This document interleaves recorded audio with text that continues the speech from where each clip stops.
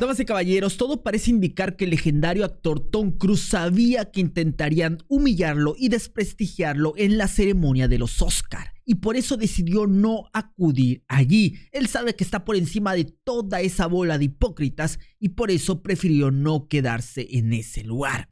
Atentos porque esto parece estar confirmado, mucho ojo. Oscar 2023. Tom Cruise faltó a la ceremonia porque creyó que se burlarían de él. A ver, primero, burlarse. ¿Cómo se van a burlar personas que son total y completamente inferiores a Tom Cruise? ¿Me entienden? Tom Cruise evidentemente está por encima. Tom Cruise es un actor de calidad. ¿Quién se va a burlar? ¿Quién se va a reír? Jimmy Kimmel. ¿Ustedes creen que Jimmy Kimmel tiene la popularidad, la fama, la reputación, la carrera de Tom Cruise? Evidentemente no. Es decir, Jimmy Kimmel obviamente es alguien prestigioso hasta cierto punto, prestigioso entre comillas, o sea, al menos es popular. Creo que esa es la palabra más adecuada. Es alguien popular hasta cierto punto. Es alguien conocido, es alguien que muchísimas personas alrededor del mundo conocen, pero no tiene la fama tan grande que tiene Tom Cruise. Tom Cruise está en otro maldito nivel. Tom Cruise juega en otra liga. Ahora, aquí nos comentan lo siguiente. La estrella de Top Gun Maverick no recibió bien una serie de chistes sobre su estatura y acrobacias en los premios del sindicato de actor, mismos que fueron escritos por Jude Apatow. Me da igual lo que diga Jude Apatow, ¿vale? Pero bueno, primero, Estatura. El tema de la estatura me parece muy particular. Tom Cruise mide 1,70. Eh, primero, vamos por partes. Me llama particularmente la atención una cosa. Estamos hablando de que esto se lo dicen Progress. Progress burlándose de la estatura de Tom Cruise. Es decir, están eh, básicamente haciendo un body shaming, burlándose de su cuerpo. La estatura es algo que Tom Cruise no puede escoger, la estatura es algo que Tom Cruise no puede elegir. En cambio, por ejemplo, las mujeres que sufren sobrepeso, eso es algo que ellas sí pueden escoger. ¿Por qué entonces está mal reírse de algo que sí se puede elegir, mientras que está muy bien y muy positivo burlarse de algo que no puede ser elegido? Ustedes saben por qué, porque evidentemente esto es una burla hacia un hombre y nunca te vas a poder eh, burlar de la mujer. Está muy mal decir algo sobre la mujer, Dios mío, qué terrible. En cambio del hombre siempre estará bien visto burlarse y decir lo que sea porque la sociedad vive en una doble moral. La sociedad tiene dobles estándares, doble varas de medir. Ahora, Aquí básicamente nos dicen lo siguiente. Los premios Oscar 2023 premiaron a algunas de las estrellas más grandes del momento, quienes se presentaron ante las cámaras para mostrarse ante el mundo y darle a sus fans un poco de contenido que, pues bueno, tanto les encantan. A ver, primero vamos por partes. Los premios Oscar 2023, eh, al igual que ha estado pasando año con año, nos están demostrando la decadencia de Hollywood. Hollywood está en decadencia, Hollywood cada día está peor, los premios Oscar 2024 van a tener criterios de diversidad, tal como lo oyen, y además por si fuera poco, a ver, en estos premios, en esta ceremonia, tampoco fue, nosotros sabemos, James Cameron. James Cameron no acudió. ¿Y qué fue lo que ocurrió? Bueno, Jimmy Kimmel dijo lo siguiente. Sobre la ausencia de James Cameron y Tom Cruise en los Oscars. Los dos tipos que insistieron en que fuéramos al teatro no vinieron al teatro, dijo Jimmy Kimmel. Reverendo hipócrita, gracias a estos dos tipos es que el cine y la industria sigue viva porque las salas de cine, las compañías de cine estaban muriéndose, ya no podían resistir, ya no podían aguantar, ya no podían soportar, muchas estaban al borde de la quiebra y fueron las películas de estos dos señores las que salvaron a la industria cinematográfica por completo. Entonces, un poquito más agradecidos, ¿no? Entonces, seguimos. Aquí nos dicen lo siguiente. Los premios Oscar 2023 premiaron a algunas de las estrellas más grandes. Vale, un poco de contexto ahora.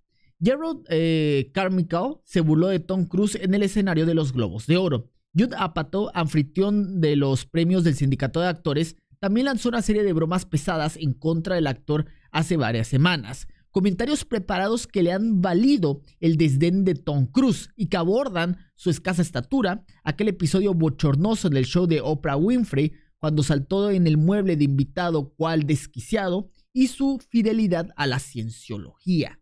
Imagínense nada más. Increíble, ¿no? Eh, a ver, Tom Cruise los tiene vueltos locos a esta gente de Hollywood, chicos. Tom Cruise los tiene a todos vueltos locos.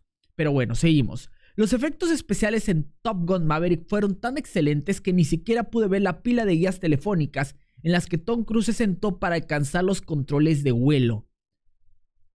Miren nada más. Primero, les recuerdo una vez más, Tom Cruise no es ningún enano, mide unos 70. 1.70, ¿vale? Que sí, que no es un 80, que no es 1,90, pero es 1,70. Es decir, eso es una estatura decente. O sea, lo dicen como si fuera un maldito enano, ¿eh? Aquí. Pero nada que ver. Ahora, recuerden que Tom Cruise saltó arriba y abajo en el sofá y todos pensamos, ¡qué lunático! Ahora monta una motocicleta por un acantilado y hace saltos y todos decimos, Tom está bien. Tom no está bien. Alguien tiene que explicarle algo llamado CGI. Tiene 60 años, tranquilo, dicen. Y qué bueno con hombre a sus 60 años puede hacer acrobacias de esta eh, magnitud, de ese tamaño. Porque, a ver, chicos, muchos de estos actores nosotros sabemos que muy jijiji, muy jaja, pero bueno, nosotros, y hay que decirlo, eh, por ejemplo, eh, Apatow, damas y caballeros, y esto es muy importante, se estaba riendo de la edad de Tom Cruise, estaba burlándose, estaba humillándolo. ¿Saben cuántos años tiene Judd Apatow? 55. Y luce como un maldito anciano al lado de Tom Cruise. Tal como lo oyen, Judd Apatow luce mucho menor, mucho, mucho mayor que Tom Cruise y es menor. Es 5 años menor que Tom Cruise. Entonces, cuidado, ¿eh, Judd Apatow? O sea, burlándote de algo así de Tom Cruise, pero vale. Seguimos. Aquí también dice lo siguiente. Pero cada vez que hace una de estas nuevas acrobacias, se siente como un anuncio de la cienciología. Quiero decir, ¿está eso en Dianética? Sistema de creencias de la cienciología, porque no hay nada sobre saltar de un acantilado en el Tora, o en la Tora, vale. Insiders reportaron a Variety que Tom Cruise no quiso asistir a los Oscars 2023 debido a que presuntamente Judd Apatow habría contribuido al guion de la ceremonia, conducida por Jimmy Kimmel. Eh, tal parece que la estrella de Misión Imposible se sintió temerosa. No, no, no. Tom Cruise no se siente temeroso, carajo. Si ese tipo se lanza en un maldito acantilado, se la suda por completo. Tom Cruise ve como en la industria le faltan al respeto. Alguien como él, al amo de la industria, le faltan al respeto al amo de la industria lo ningunean y lo tratan como si no fuera nada. Y yo he visto a personas decir, oh, mira todo en todas partes al mismo tiempo, esta película con un presupuesto chiquitito, mientras que Avatar, que tiene un presupuesto enorme, un costo de producción de casi 500 millones de dólares, no pudo llevarse el Oscar. El Oscar no importa. El Oscar no importa. Lo único que importa es la pasta. Y cuando hablamos de pasta, no existe una película más rentable en el año 2022 que Top Gun Maverick. Y sí, Top Gun Maverick, debido a su costo de producción, es una película más rentable. Ojo con la palabra, rentable que Avatar. Ganó menos dinero, pero es más rentable que Avatar, ¿vale? Entonces, esto es clave y es muy, muy, muy importante, ¿va? Ahora, seguimos. Aquí nos dicen lo siguiente, que supuestamente se sintió temeroso, pero por favor, eh, aquí nos dicen, Top Gun Maverick estuvo nominada en la categoría Mejor Película, sin embargo su estrella principal prefirió no asistir por causas de fuerza mayor. Cabe mencionar que Apatow no intervino en la escritura de los chistes mencionados por Kimmel, así lo revela el medio informativo. Tom Cruise, eh, uno de los miembros más conocidos de la Iglesia de la Cienciología, una organización religiosa fundada en los Estados Unidos en 1954 por el escritor de ciencia ficción Ron Howard. Cruz se unió a la cienciología en la década de 1980 y ha sido un defensor y promotor activo de la organización desde entonces. Vale, Tom Cruise incluso ha donado millones de dólares, nos dicen aquí.